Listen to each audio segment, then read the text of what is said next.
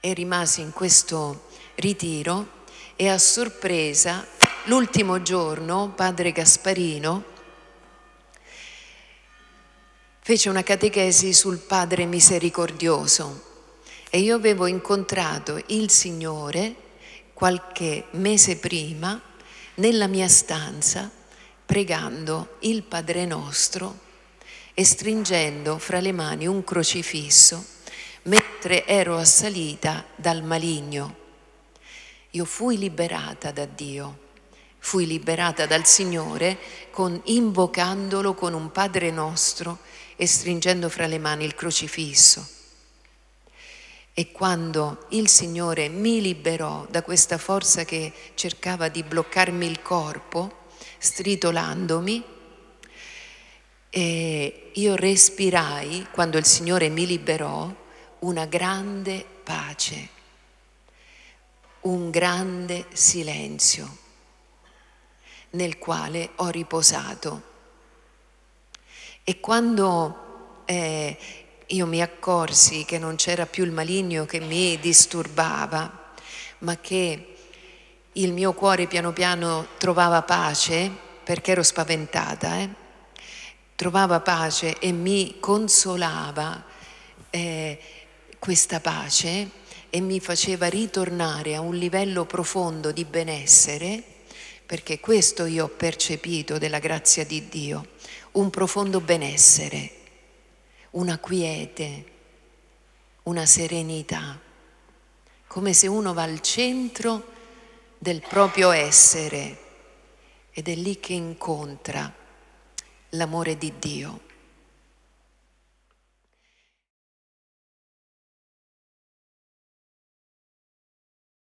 Intanto dedico questa testimonianza alla Vergine Maria. Mi sentite? Mm? Alla Vergine Maria, che è qui con noi.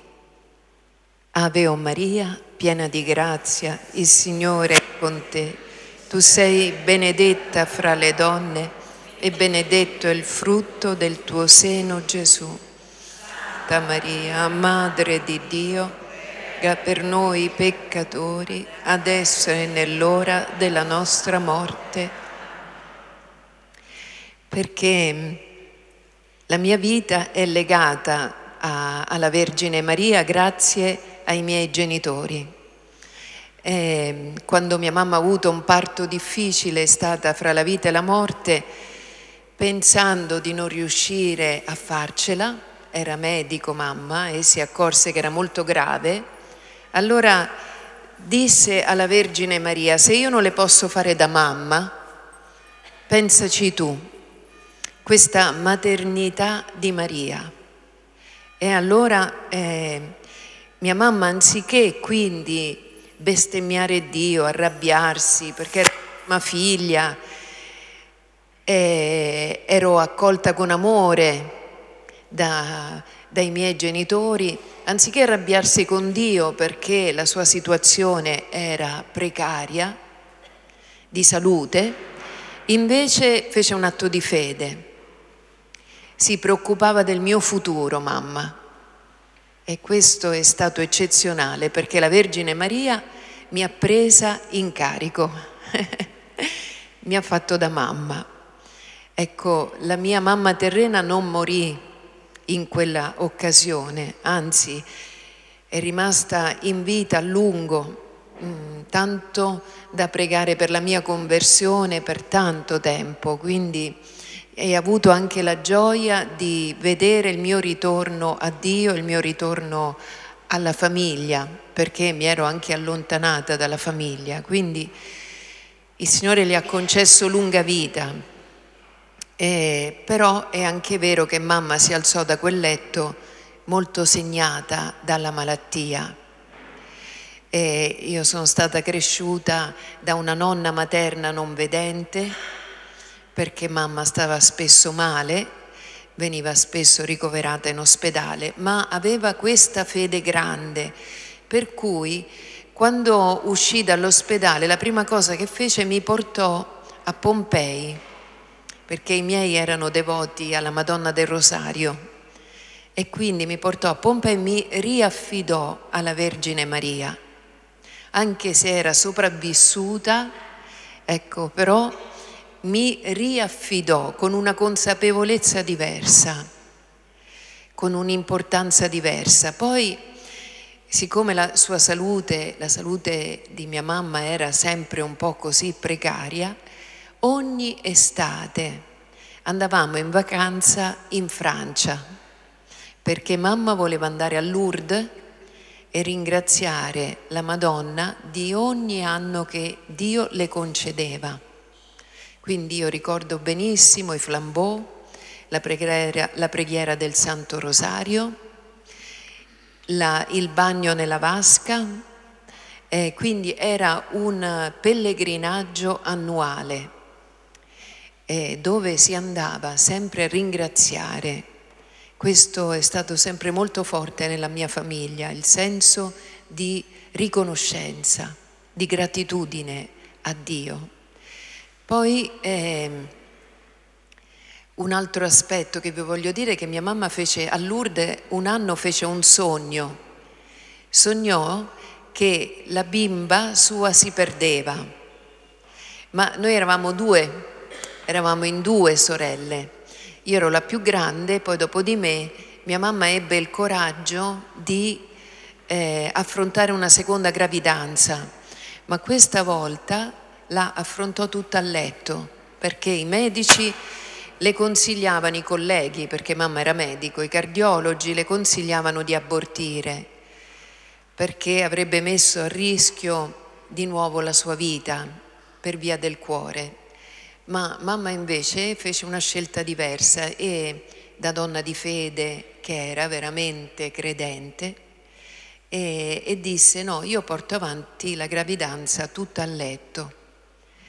Mia sorella nasce il 25 marzo, festa dell'Annunciazione, questo per dirvi come veramente la Vergine Maria appartiene alla nostra famiglia proprio come presenza.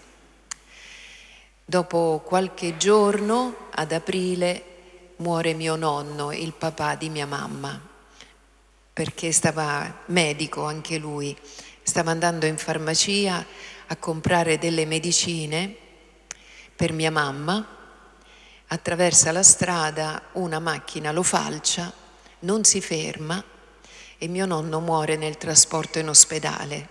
Quindi mamma non ha la gioia di allattare anche la sua seconda figlia.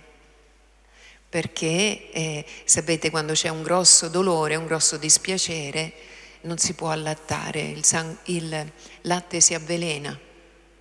E quindi eh, la nostra famiglia è stata, è stata sempre attraversata da momenti di difficoltà, momenti di sofferenza, momenti di prova, affrontati sempre con la fede.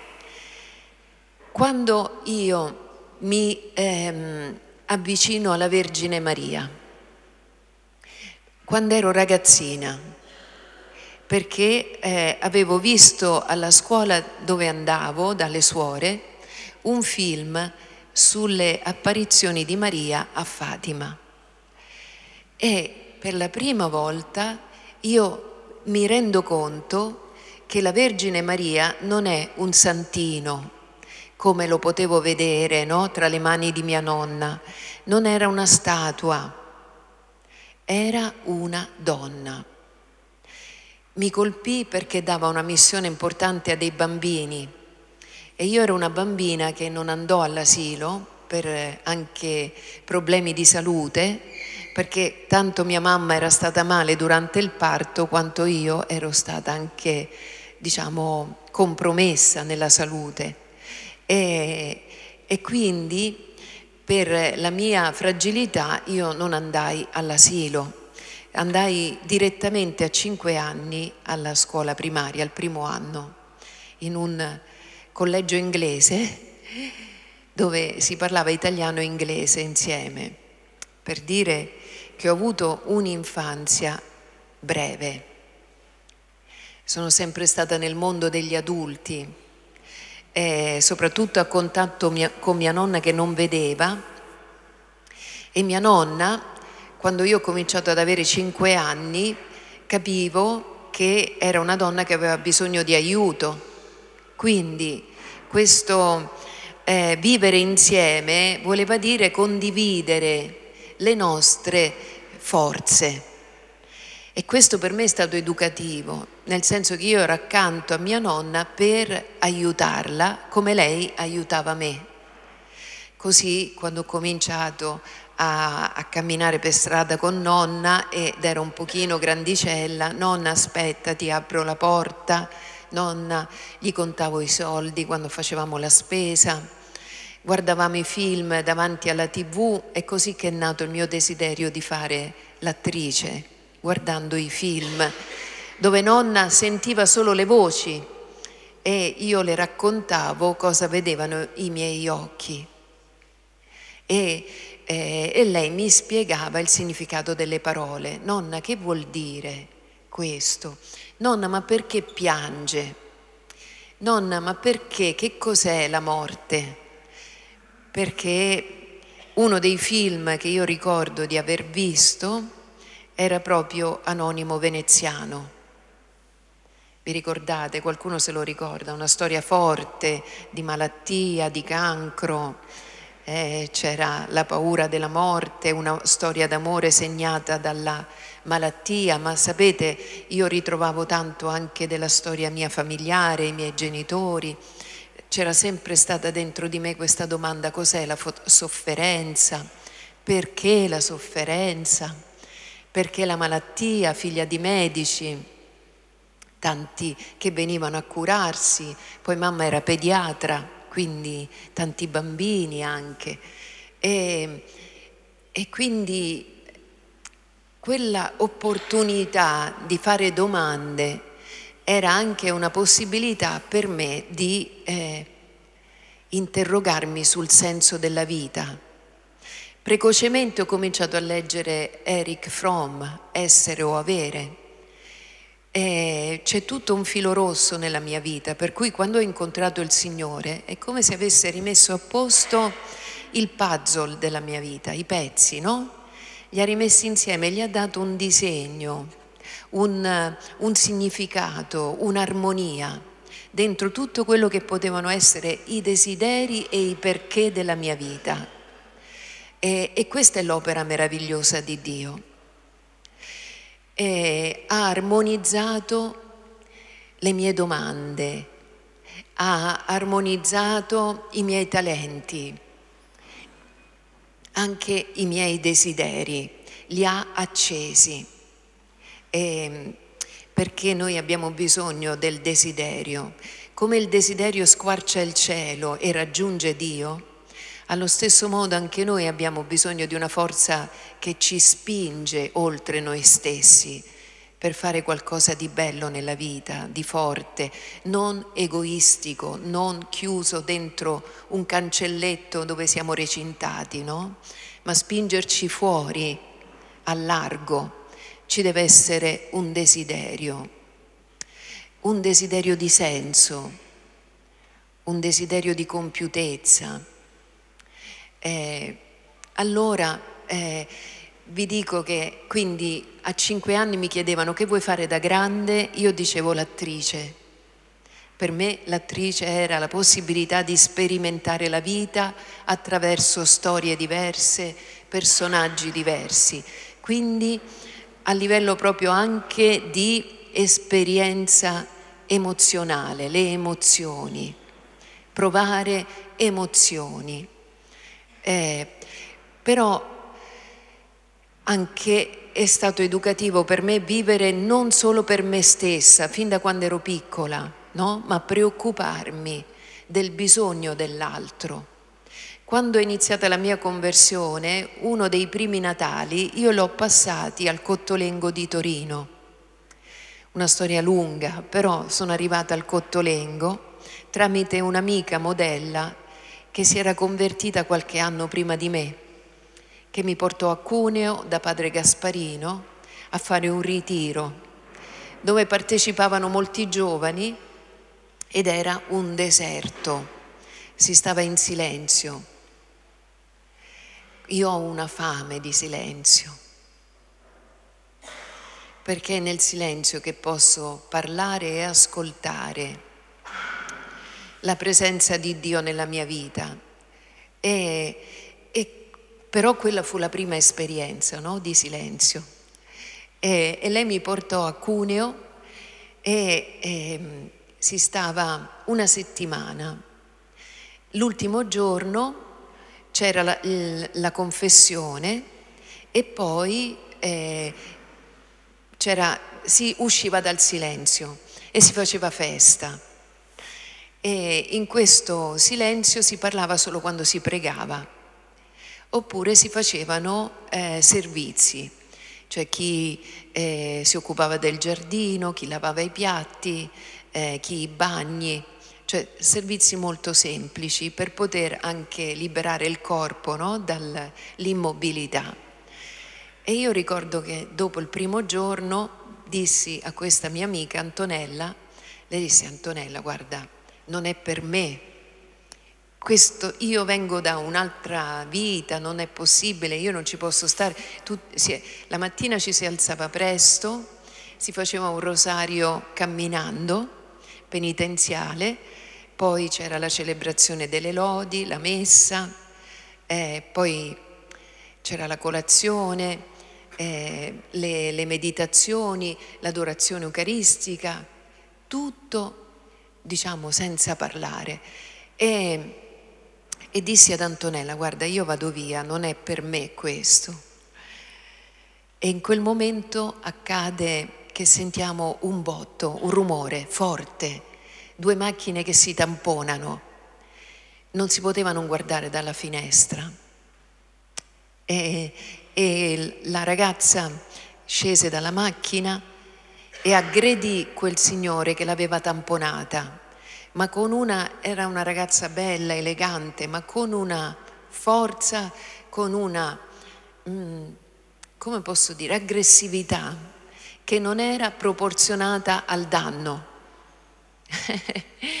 era troppo aggressiva e dal silenzio a, quel, a quell'aggressione io la sentii amplificata e dissi dentro di me, io non voglio essere così. E allora scelsi di rimanere a questo ritiro perché scelsi di farmi aiutare da Dio con la sua grazia per cambiare. Fu quello il momento decisivo che mi spinse ad accettare la conversione fino in fondo e rimasi in questo ritiro e a sorpresa l'ultimo giorno padre Gasparino fece una catechesi sul Padre misericordioso e io avevo incontrato il Signore qualche mese prima nella mia stanza pregando il Padre nostro e stringendo fra le mani un crocifisso mentre ero assalita dal maligno.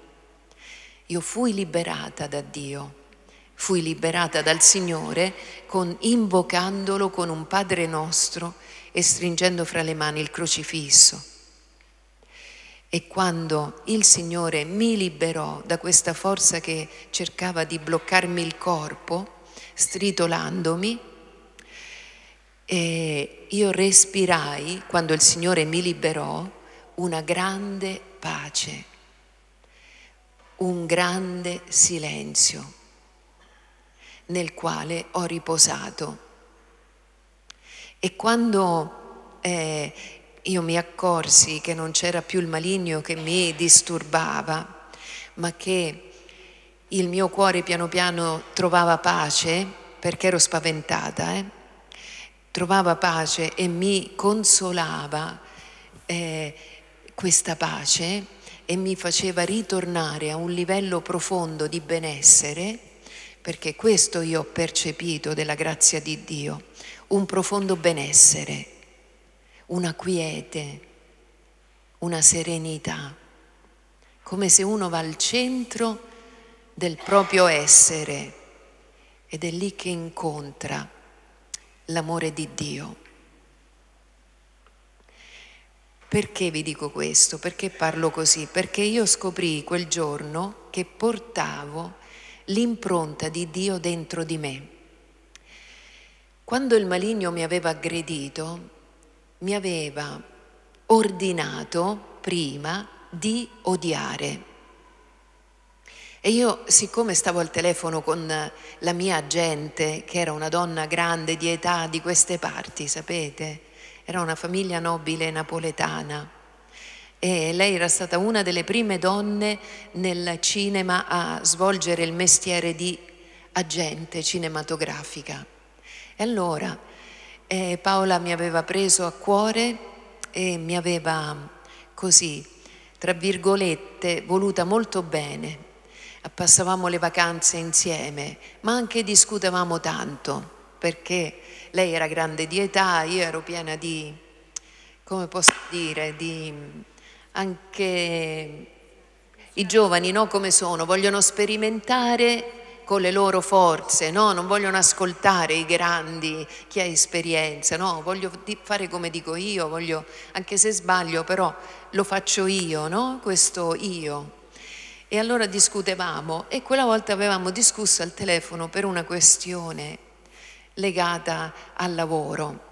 E io le dissi, no, guarda, si fa come dico io, perché sono io che vado a lavorare, sono io che sto 12 ore sul set, voglio fare come dico io. E quindi lei subì, non era d'accordo, subì la mia decisione, io lo sentii perché è il mio mestiere, ascoltare non solo la mia voce ma quella degli altri e quindi capì che era rimasta male e questa voce del maligno mi disse invece di odiare, mi ordinò di odiare. E io in quel momento risposi no. Per me era impossibile odiare Paola perché Paola era qualcosa che mi ricordava mia nonna. Questa differenza di età, questa relazione questo affetto fra due generazioni completamente diverse, ma così il bisogno uno dell'altro. E vi dico anche che io non sono capace di vivere la mia vita da sola.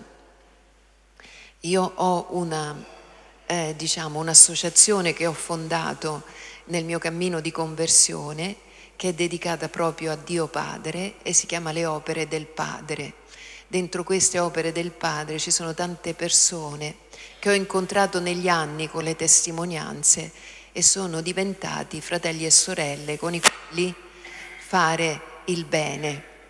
E questo prima in Africa, adesso ancora in Africa, ma non solo più solo in Africa, ma anche in Italia e, e anche in diverse parti del mondo quando ci chiedono aiuto soprattutto per quello che riguarda la salute, soprattutto per quello che riguarda ehm, curare le persone che non hanno la possibilità di curarsi, perché è rimasta dentro di me questo eh, essere figlia di medici dove la medicina può fare cose importanti, no? restituire la salute a chi l'ha persa e a volte può salvare la vita. Quindi eh, queste però sono tutti frutti di semi che sono stati gettati nella mia vita fin dall'inizio, questo vi voglio dire.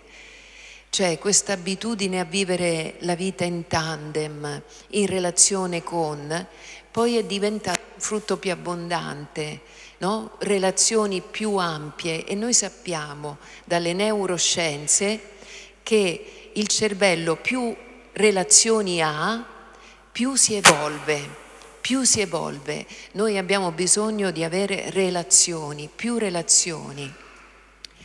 Eh, quindi eh, è un frutto di questo, diciamo, di queste basi che sono state gettate quando ero ragazzina. Ora vi dicevo che quindi quando mi è stato detto, ordinato dal maligno di odiare, per quanto io non fossi in grazia, non frequentassi più la Chiesa, da più di vent'anni di getto ho risposto, io sono fatta per amare. Questa è l'impronta di Dio che io ho scoperto dentro di me. Io, sollecitata dalle forze del male, dal maligno, ho risposto affermando l'amore. E siccome è stata una risposta di getto, non ragionata nel senso io ritengo di essere arrivata al centro della mia esistenza con questa esperienza di lotta fra il male dove poi ha vinto il bene. Grazie a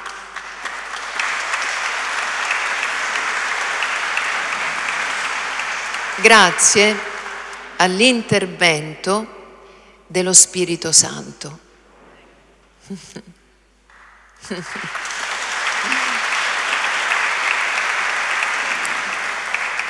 dello Spirito di Dio che mi ha liberata dal male. Intanto chi mi ha suggerito di pregare il Padre nostro, perché io pregai il Padre nostro per chiedere aiuto a Dio dove noi diciamo liberaci dal male, ma io non frequentavo la Chiesa da vent'anni, come mi poteva venire in mente di pregare il Padre nostro? È stato proprio ispirato questo Padre nostro. E poi questo prendere il crocifisso fra le mani e stringerlo forte. Poi con il tempo ho capito che mh, dovevo tutto a Gesù Cristo perché Gesù ha pagato per il nostro peccato e ha vinto la morte. E quindi piano piano all'inizio la gratitudine è stata tutta rivolta a Dio Padre.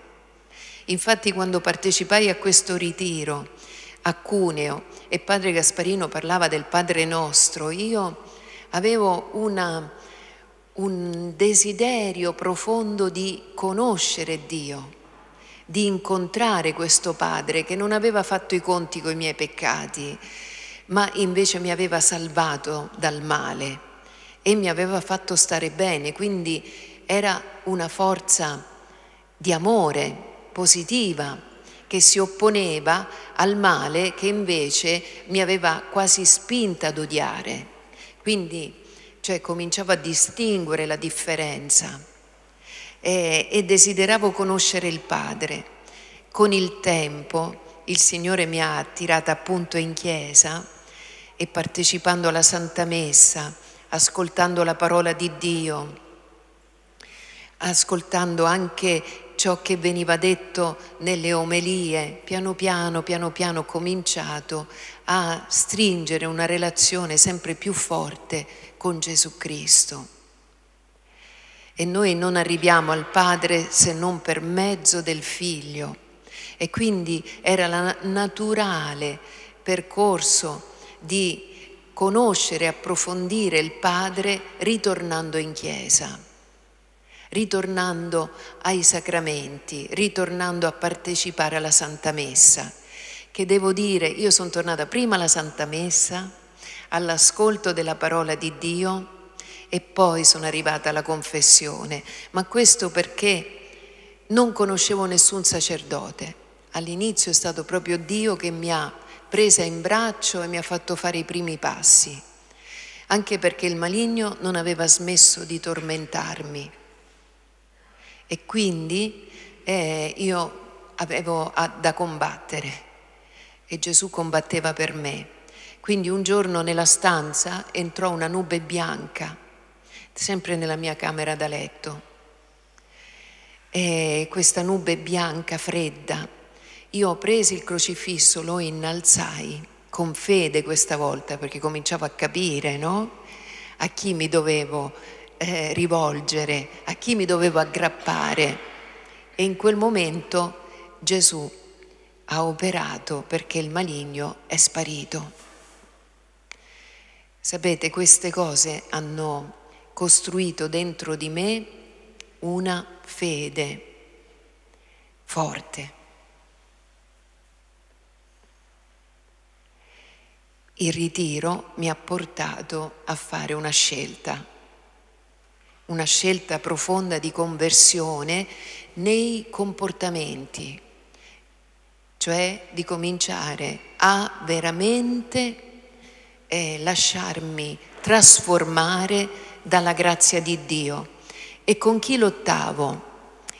Lottavo con il mio io, con le mie abitudini che erano viziate. E quindi con le abitudini viziate, vi faccio un esempio, come sono stata istruita. Allora, avevo un grande amore per la Vergine Maria, io vi ho interrotto la testimonianza sulla Vergine Maria, ma la Vergine Maria mi ha accompagnato in, in tanti passaggi, in tanti. L'amore per la parola di Dio è arrivata, vi ho detto rientro in chiesa, allora ai primi tempi mi portava in chiesa una persona che la chiesa non la frequentava, però io mi ero confidata con i miei problemi spirituali e lui mi portò per aiutarmi al santuario della rivelazione a Roma, dove la Vergine Maria era apparsa ad un trambiere che era diventato protestante da cattolico e gli era apparsa con la Bibbia in mano. Per questo la Madonna della Rivelazione. E gli disse di non perseguitare la Chiesa, di rientrare nel santo vile e anche di diventare testimone della verità. Gli spiegò che il suo corpo, l'assunzione, che il suo corpo non poteva marcire, e perché lui aveva anche scritto un sermone contro l'Immacolata Concezione, non credeva che la Madonna fosse immacolata, eh, era molto agguerrito con il Papa, e insomma lui cambiò vita ritornò a Dio con tutto il cuore, rientrò nella Chiesa cattolica e fondò addirittura una congregazione di suore, pur essendo lui sposato con i bambini, ma fondò le suore della rivelazione. Con questo vestito verde che portano, perché la Madonna apparì vestita di bianco con una cinta rosa, questa Bibbia in mano e un manto verde il manto verde rappresenta la paternità di Dio. Quindi questo Signore che non sapeva mi portò nel posto giusto e tutti i sabati puntualmente io andavo al santuario della rivelazione e partecipavo nella grotta, in questa piccola grotta, alla Santa Messa e mi appassionai alla Vergine della Rivelazione. Portavo allora una gonna lunga, c'erano tanti lumini per terra, prese fuoco la mia gonna e una signora con il suo giacchino, poverina, mi batté il vestito per fermare le fiamme. E io ero rimasta anche abbastanza colpita da questo evento perché non me l'aspettavo. Poi i tessuti sintetici prendono subito fuoco. E le, chiesi solo come si chiama signora e lei mi disse Maria. Allora eh, ci sono tanti passaggi, non posso parlare tutta la notte, quindi devo andare.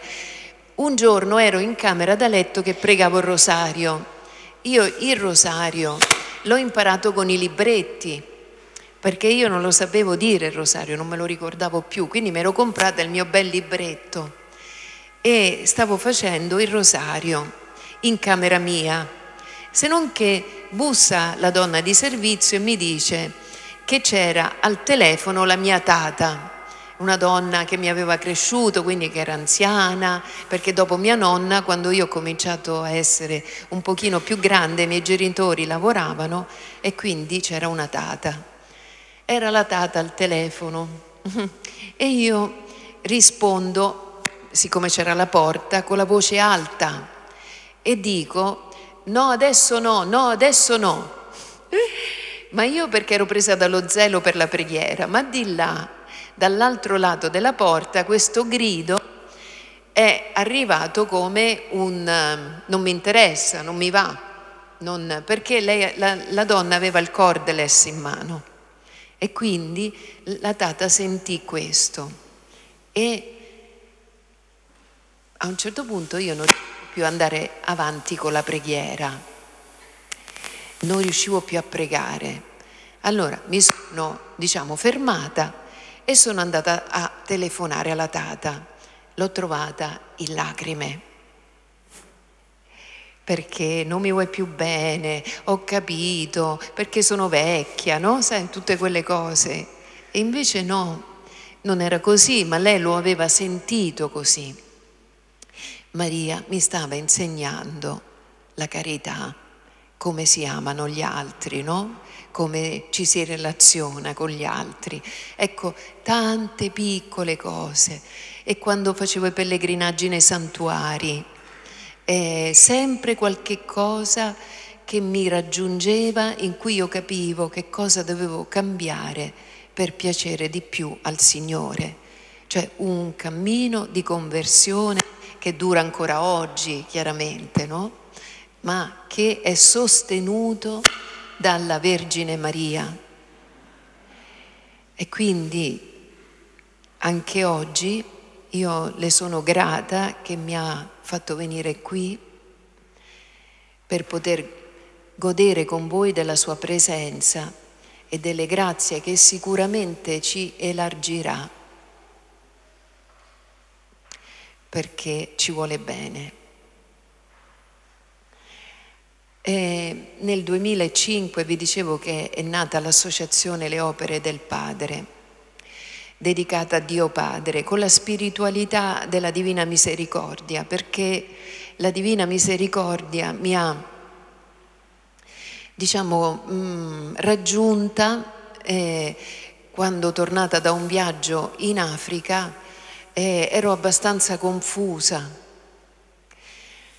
perché? Perché cominciavano i primi sì a Dio eh, nei cambiamenti della conversione, dei comportamenti, delle scelte e però mi scontravo col mio ambiente.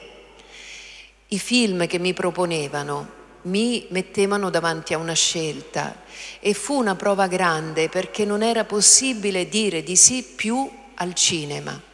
Perché mentre prima mi offrivano cose godibili, da quando è iniziata la conversione è iniziata una battaglia micidiale. Cioè morì il produttore di Linda il Brigadiere, che era un grande produttore. E, e quello che mi venne offerto dopo non era più dello stesso livello. Anche il teatro, morì il produttore teatrale erano grandi di età, però fu per me un disastro. Io avevo con lui dei, dei diciamo, un, un, lungo percorso da fare insieme. Avevamo già scelto i, le opere teatrali da portare in teatro, quindi avevamo già un lavoro progettato nel tempo. Fu un disastro. Lui morì e a me mi fu proposto proprio tutt'altro e facciamo un esempio così capite perché io non ho potuto accettare i copioni, non perché io non volessi più lavorare o perché pensassi di essere diventata, non so, bigotta, no, No, nemmeno, no, perché ero in cammino e mi incontravo con tutte le mie fragilità, non ho mai pensato di essere santa mi scontravo continuamente con la mia fragilità, ma volevo essere fedele a Dio perché io mi ero scontrata con il male. E quindi io non potevo fare 50 e 50 col male, capite? Perché io conoscevo la cattiveria del male. E conoscevo che ci si salva solo se ci si mette sotto, sotto la protezione di Dio, ma quindi si, bisogna rimanere fedeli quando Gesù dice il vostro parlare sia sì sì, no no, non ci sono compromessi. Sì, e così è. Eh.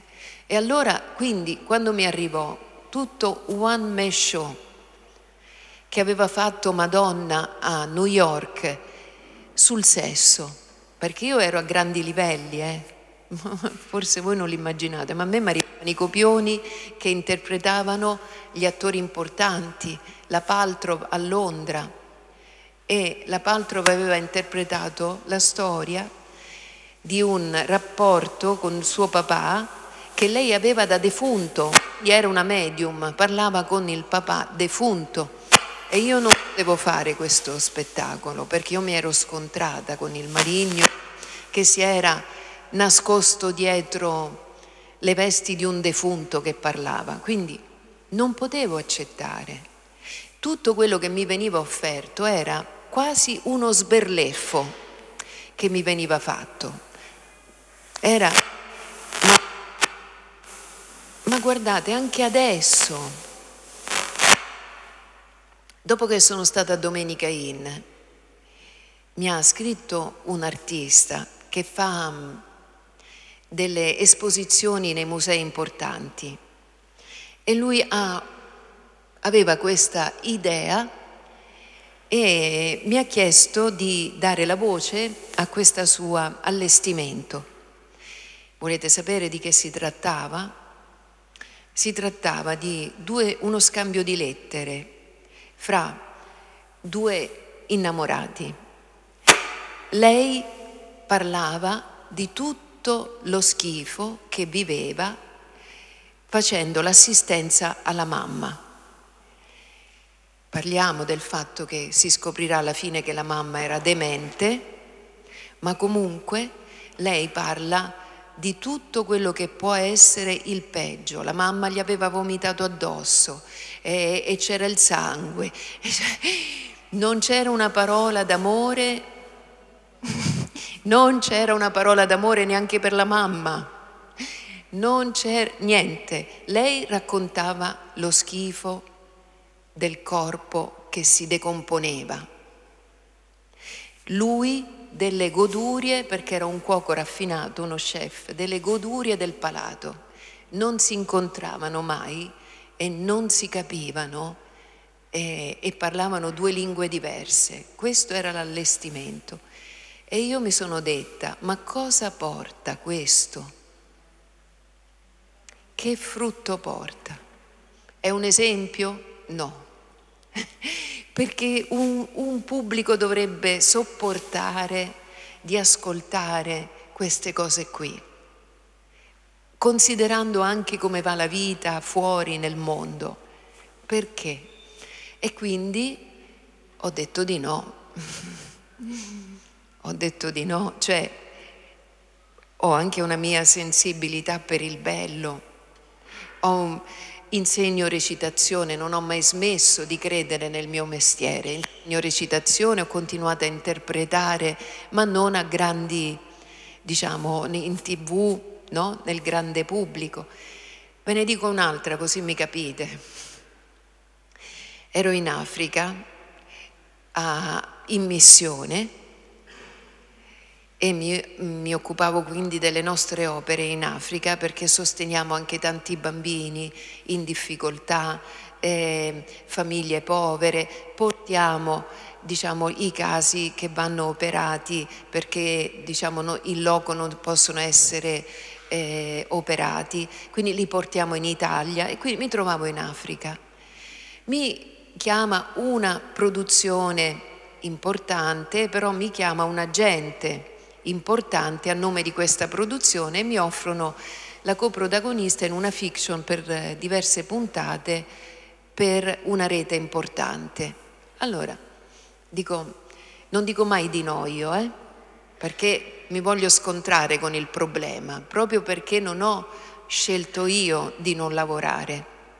E allora dico, mandatemi, mandatemi i copioni eh, tramite internet. Allora, mh, mm, dicono non li abbiamo tutti perché non abbiamo ancora finito di scrivere, però vi, mh, mm, ti mandiamo quello che abbiamo. Quindi comincio a leggere, la storia non è che mi sembrava eccezionale, però era comunque un personaggio non negativo, quindi ho detto vabbè, ma si può fare, perché no? Era innamorata del protagonista, era sempre presente in tutte le scene, però come una donna insignificante. Lui neanche la guardava. Eh? C'era lei, ma lui neanche la, la, guardava, lei era innamorata di lui e, e va bene. Poi mm, quindi facciamo l'appuntamento, vado a fare il colloquio per organizzare il giorno dopo eventualmente, eventualmente un provino di capelli, di look. Mi siedo e a un certo punto dico scusate ma c'era un file che non si è aperto, lo posso leggere? Ed era il profilo del personaggio.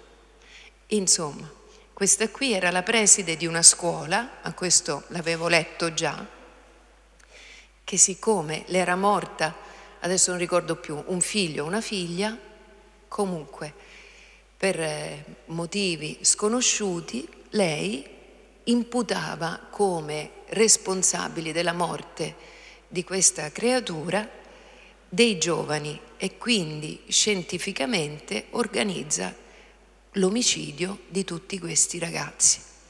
Finisce la storia, finisce la fiction, dove lei dice, io non importa che ho rovinato la mia vita, l'importante è che ho rovinato la loro. Cioè quindi misericordia. allora voi capite che io vado avanti per la mia strada non ho scelto io di non lavorare in tv eccetera, ma Dio mi ha dato tanto di più, mi ha dato il centuplo, perché ha dato quell'armonia di senso di cui avevo bisogno e oggi la mia gioia è quella di aiutare gli altri a stare bene. Questa è la mia gioia più profonda, quando io vedo che l'altro è è consolato, è rafforzato nella fede o aiutato materialmente eh, nelle sue fatiche e difficoltà. Quindi è nata un'opera dentro le opere del Padre a Roma dove noi sosteniamo le persone che vivono in strada. Quindi gli offriamo un, diciamo, una possibilità di entrare in un centro dove si possono lavare, far lavare i loro vestiti, essere visitati da un medico, avere la colazione, il pranzo, il vestito cambiato, e, appunto la visita del medico, adesso abbiamo anche uno psichiatra e per le famiglie disagiate, oltre ad avere la possibilità del vestito, eh, delle, diciamo, della visita del medico, hanno anche il pacco alimentare e poi diciamo, noi cerchiamo di andare incontro a tutte le loro difficoltà, per esempio i libri universitari per i figli, eh, le cose più impensabili. Entriamo a piede diritto e aiutiamo. E questa opera è chiamata Colomba Express, dopo vedrete un piccolo filmato, perché è dedicata allo Spirito Santo, cioè la colomba è lo Spirito con un cuore rosso perché come Maria che quando capisce che va aiutata la cugina Elisabetta parte immediatamente e quindi l'amore vuol dire questo tra di noi, la colomba, l'amore express, express cioè immediato e non rimandato. E quindi è, è per me un'esperienza bellissima dal punto di vista umano, durissima anche, perché quando conosci le persone e sai che quella notte fa freddo a Roma, piove a dirotto, tu sai esattamente che quella notte quelle persone non dormiranno, sentiranno freddo ed è durissimo durissimo. Mm.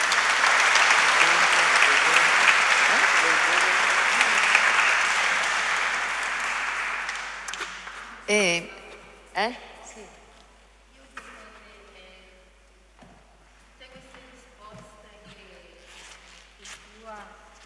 Hai detto, ecco, io dico che è Gesù ti ha scelto quindi devi percorrere questa strada, quella strada non fa più per te, te lo dico a cuore proprio, mi viene dall'anima. Devi cambiare proprio tutto, perché ogni cosa che tu hai detto ci sta sempre qualcosa che no. Quindi non è più quello per te, te lo dico, è questo. E penso che tu l'hai capito molto bene. No, no, no e no, è qui il problema. Perché quando mi chiesero di leggere le poesie di Giovanni Paolo II, eh, e io non avevo la formazione artistica eh, fondata sulla parola, avevo una formazione artistica fondata sulle emozioni, perché a me interessavano sperimentare, vi ho detto, le emozioni. È per questo che Dio ha dato un'armonia grande alla mia vita. Allora, io non ehm, mi, mm, diciamo, facevo fiction eh, dove dovevo mettere in gioco le mie emozioni, eccetera, ma non è che ero tanto formata sulla parola. E quindi quando mi chiesero di leggere queste poesie dissi, devo studiare perché sono poesie dense di filosofia, c'è l'antropologia, c'è la teologia, io le devo capire per trasmetterle. E allora andai davanti al Santissimo perché l'avevo imparato al ritiro a Cuneo, che bisognava pregare in adorazione silenziosa davanti al Santissimo. E quindi mi mettevo davanti al Santissimo cercando di capire e di farmi aiutare da Dio a capire come comunicare queste poesie, perché il problema non è solo capire, ma anche comunicare. E vi devo dire che Dio mi ha insegnato a comunicare la parola. Faccio un esempio, così mi capite, eh, per cui io penso di aver ricevuto un dono che però va messo a servizio chiaramente delle cose belle, non delle cose. Van Gogh, che io ho studiato perché anche faccio, diciamo, fatto un percorso anche di formazione di counselor eh, all'università perché ho fatto tante cose da quando ho incontrato il Signore, ma Van Gogh diceva tutto quello che è bello e buono viene da Dio, tutto quello che non è bello, non è buono, non viene da Dio. Ecco, io ho capito questo, che cioè la mia voce va messa a servizio di ciò che è bello e di ciò che è buono, ciò che fa crescere gli altri. Quello che non fa crescere, che non serve, inutile, non mi ci devo neanche mettere. Allora mi trovavo, avevo letto le poesie di Giovanni Paolo II a Roma per i suoi festeggiamenti. Poi mi chiamano i padri Micheliti a San Michele Arcangelo e mi chiedono di leggere, polacchi, mi chiedono di leggere le poesie di Giovanni Paolo II. E quindi io le avevo già lette, ma vado a pregare nella grotta, anche quella una grotta, a San Michele Arcangelo, prima della, della lettura, chiedo sempre a Dio, anche prima di una testimonianza, di guidare la mia lettura, la mia interpretazione, la mia testimonianza. Penso che questo sia fondamentale, no? non contare sulle proprie capacità, le proprie forze, ma eh, sullo spirito di Dio, che sa di che cosa abbiamo bisogno. Allora, comincio a leggere le poesie e le leggo in una maniera completamente diversa rispetto a Roma. Dico, ma dentro di me, ma perché? Non lo so. Erano piccole, semplici, come le potrebbe leggere una bimba. E a un certo punto arriva una frase dove invece eh, Giovanni Paolo dice che Abramo sperò contro ogni speranza. E in quel momento io sentii una forza dentro, un fuoco che mi diceva, prima a me nel cuore, e io lo comunicavo, che Abramo sperò contro ogni speranza. Sentii questa forza e capii che quello interessava a Dio. Perché Dio non è il Dio delle cose inutili, delle cose apparenti, delle vanità. Dio dà sempre significato a tutto, c'è sempre un senso in tutto quello che accade, c'è una logica profonda.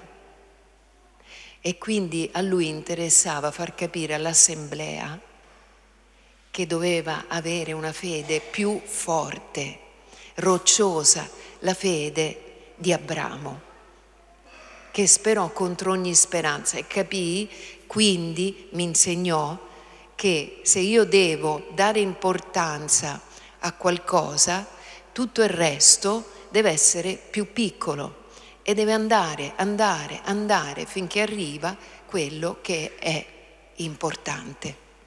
Quello rimane scritto nel cuore delle persone. Così Dio mi ha insegnato piano piano a interpretare le poesie, interpretare testi non solo sacri, ma anche per esempio le poesie di Alda Merini, perché poi piano piano no, la tecnica l'ho messa a disposizione anche di quello che io ho sentito di profondamente umano, profondamente umano, denso di significato. E quindi ho dato voce anche alla sofferenza, laddove ho sentito che era una, um, un qualcosa che poteva aiutare gli altri. Ecco, a me interessa questo oggi, essere a servizio della verità, del bene, della bontà, per quello che io sono in grado di poter fare.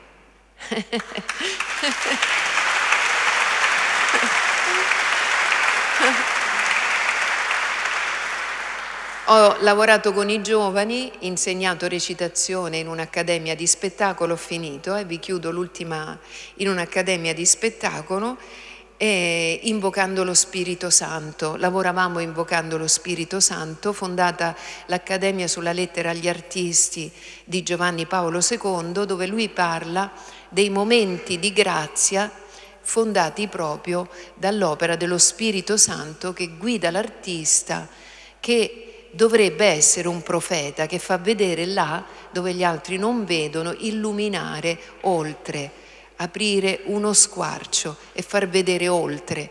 Quindi una grande missione agli artisti. È per questo che io credo in un'arte che è di un altro livello, eh? ma eh, c'è bisogno che il chicco di grano caduto in terra muore per portare frutto, no? E quindi a me il Signore mi ha chiesto anche di morire tante volte. Dire tutti questi no sono state anche delle piccole morti, perché io ho dovuto fare una, una scelta nella fede, non sapendo dove mi stava portando Dio, no? non avendo un'assicurazione sul futuro, era solo una questione di fede. Eh? E vi stavo dicendo che a un certo punto nel tempo io ho visto che i giovani eh, erano sempre meno forti nella fede e nella preghiera, che anzi proprio sto Spirito Santo si faceva fatica a farlo entrare dentro l'accademia stessa. Non avevano proprio ricevuto eh, niente dalla famiglia e, e quindi eh, avevo casi di ragazzi che cadevano in terra con gli attacchi di panico, ragazzi che si tagliavano. E mi facevo la domanda, ma io come li aiuto questi giovani? Perché quando poi lavoravamo con le emozioni, lavoravamo con i personaggi che magari dovevano vivere un'emozione forte, e, e entravano in crisi, stavano male e non gestivano le loro emozioni, il loro vissuto. E quindi la suora, la madre generale del, diciamo, della congregazione che aveva fondato l'accademia, mi diede un consiglio, perché non ti iscrivi all'università? C'è un corso per diventare counselor ed è un corso particolare fondato sulla parola di Dio. Quindi mi sono iscritta e anziché farmi tre anni me ne sono fatti cinque. e poi sono diventata counselor professionista, adesso faccio anche questo come lavoro, aiuto i giovani, ma anche le persone più grandi di età, a recuperare diciamo, un loro benessere, soprattutto lavoro sulle interruzioni di contatto, cioè tutte quelle cose che si sono bloccate nella vita e che si sono, diciamo, inceppate. Ecco, il counselor aiuta a ripartire. E quindi benedico il Signore perché ha dato una nuova spinta alla mia vita, mi ha veramente, eh, cioè, è una vita pesante, eh, faticosa. Io oggi ho preso due caffè prima di arrivare qua perché mi si chiudevano gli occhi per la stanchezza, però vi assicuro che è una vita piena. Allora Dio dà il centuplo su questa terra, il centuplo e la vita è eterna.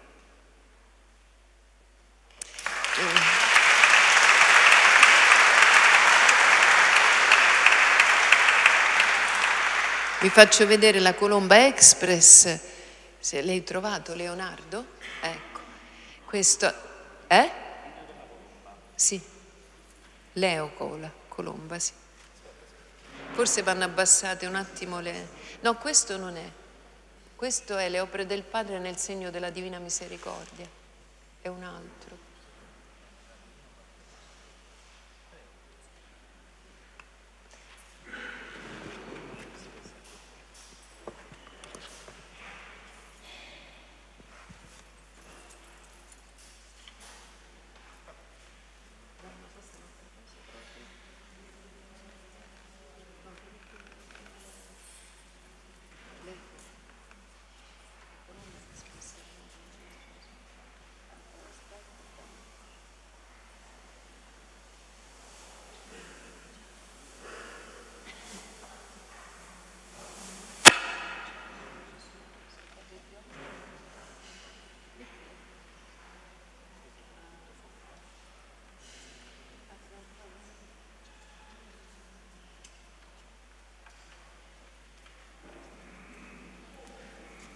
Allora, questa è, puoi fermarti qui un attimo, questo è il mio primo viaggio in Africa. C'era una grave carestia in Etiopia, i bambini morivano di fame. E questa era una bambina, perché sapete, in Africa mangiano prima gli uomini, poi le donne, poi i bambini e per ultime le bambine. Quindi eh, soprattutto in questo campo eh, organizzato dai missionari salesiani c'erano bambine che erano in queste condizioni. E questo cambiò e diede un, um, una, anche questa una spinta forte ad andare all'essenziale, a distaccarmi dal benessere nel quale vivevo e a vivere pensando soprattutto ai bisogni e le necessità inizialmente dei bambini Qui ancora non, era nata, non erano nate le opere del padre, fece esperienza di missione con i missionari salesiani e poi nacquero le opere del padre. Ecco, facciamo vedere altre due foto. Ecco, guardate questa bimba, guardate lo zigomo, vedete che gli mancavano completamente le guance, come stava? Non c'erano medici in quella zona, la suora chiedeva allo Spirito Santo come curare questi bambini e di che cosa avevano bisogno, pregava, che non c'erano medici in questa zona, era la suora che pensava a tutto. Ecco, questi erano gli altri bimbi, eh, giusto per farvi capire ancora, le, ecco, così arrivavano eh, al campo che non erano in grado neanche di eh, essere vitali i bambini, avevano la pancia gonfia, chiaramente. Eh. Allora questo mi, vedete, guardate il viso del bambino, della bambina, come erano, eh, erano sofferenti. Questo chiaramente, ecco, veniva fatta questa sorta di zuppa eh, con latte multivitaminico e questi bimbi bevevano queste tazzine con questo latte multivitaminico che però io ho visto bambine che non ce la facevano perché quando non assorbivano più, cioè quando bevevano perdevano completamente tutto quello che introducevano. Ecco, questo fu eh, la prima mia esperienza in Africa che mi cambiò profondamente la vita. Adesso se volete facciamo vedere la colomba, perché non vi posso far vedere tutte le foto. È una delle poche giornate in cui evidentemente bisogna mettersi all'opera per i poveri che non hanno più, diciamo, quello spazio per pregare insieme. Eh, perché la misericordia, la carità sì. è cambiata Cosa vi ha costretti a fare il coronavirus? Ad amare di più. Quando io ho visto che si ristringeva l'orizzonte e che c'era poca possibilità, no? non si poteva accedere all'Eucarestia, non si poteva partecipare alla Santa Messa, all'inizio le chiese erano chiuse, io ho detto questo è il momento di amare di più questo è il momento di essere più fedeli di prima al Signore e testimoniare con la propria vita l'adesione a Cristo, quindi dare la propria vita per gli altri. Claudia, la misericordia in questo tempo così inspiegabile per certi aspetti, che cosa in realtà, come si manifesta? Eh, amare di più va bene, eh? eppure facciamo fatica a pensare che ci sia un Dio di misericordia dietro tutto questo. Certo che c'è un Dio di misericordia. Per esempio la forza che io sento dentro che mi spinge verso gli altri non è una forza mia, questo lo sento benissimo perché io come tutti gli altri posso avere paura del contagio. Ho a casa un ragazzo che è trapiantato, un bambino piccolo che è stato operato al cuore, quindi ho le mie preoccupazioni, eh, però c'è una forza che mi spinge, eh, che è la forza della fede.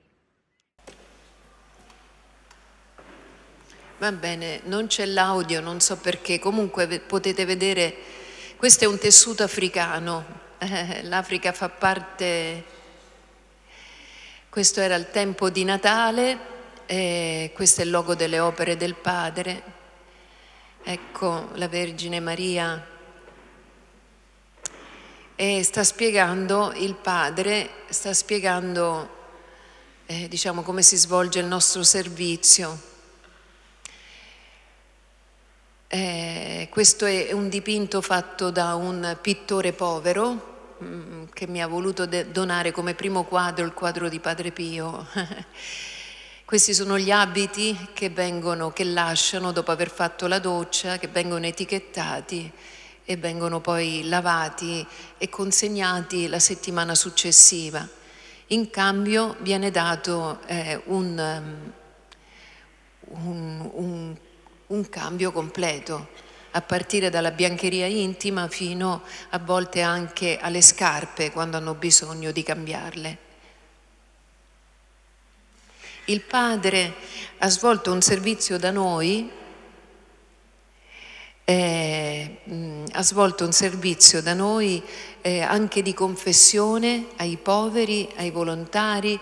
Sì, questo è un, un signore che mh, era venuto per, da me la prima volta chiedendomi aiuto, un architetto che però aveva perso diciamo, le sue,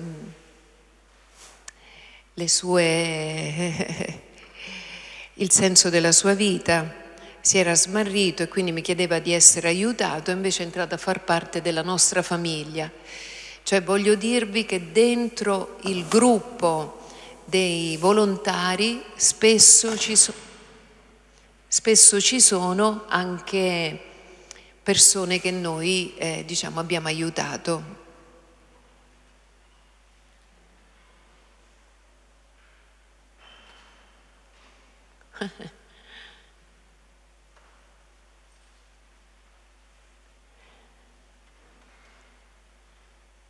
Ecco, ci teniamo sempre a, a creare un ambiente accogliente, un ambiente,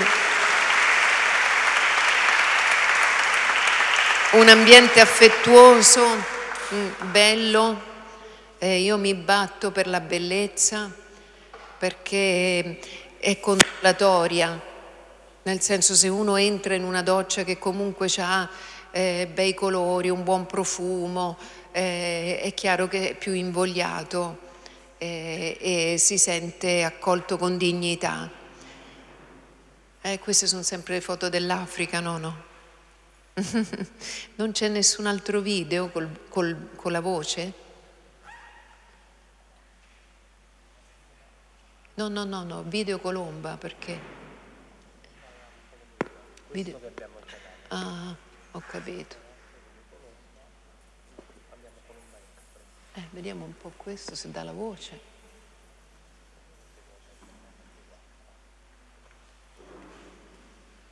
Eh no, perché lei, lei, vediamo se passa un po', se me lo scorre, vediamo perché lui, no, non c'è la voce comunque, no, no, no, può spegnere, può spegnere.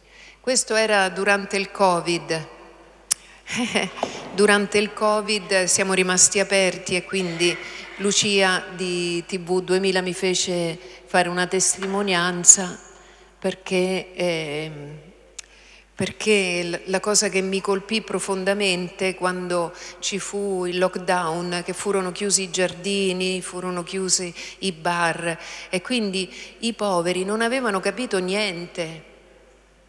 Io dovetti mettere un altoparlante con eh, un eh, collegamento con un telefonino per fargli sentire cosa stava accadendo in Italia. Perché loro dicevano, ma che questi sono impazziti, che succede, come mai? Eh. E trasforma anche i cuori di chi riceve la misericordia di altri. Quante storie abbiamo ospitato in questo studio di anime che si sono viste cambiate nel profondo proprio da questo amore. Una di queste è quella di Claudia Cole. Claudia, buongiorno. Eccoti! Buongiorno Lucia! Dovevamo aspettare il coronavirus finalmente per vederti all'opera nella parrocchia dei Santi Felicita e Figli Martiri a Fidene. Quando è iniziata la tua giornata, sì. Claudia, stamattina? A che ora?